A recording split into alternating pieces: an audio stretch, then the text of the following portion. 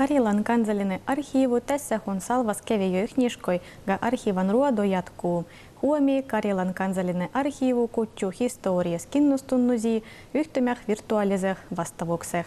Как толчуа сулпявия архиван сивул веко социолу веркос алгаву Карилан фронтан партизуан от немезен книган онлайн презентации.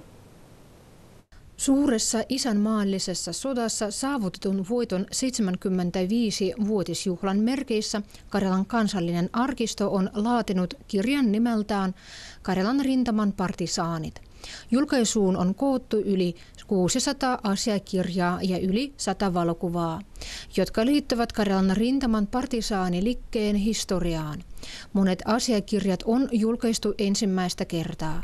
Kokoelman aineisto kertoo taisteluista, joita partisaanit kävevät, sekä partisaanien sisäisestä poliittisesta ja kulttuurityöstä, terveydenhuollosta ja arkielämästä. Yksi kirjan osa on omistettu Karjalan partisaaniliikkeen ikuistamiselle.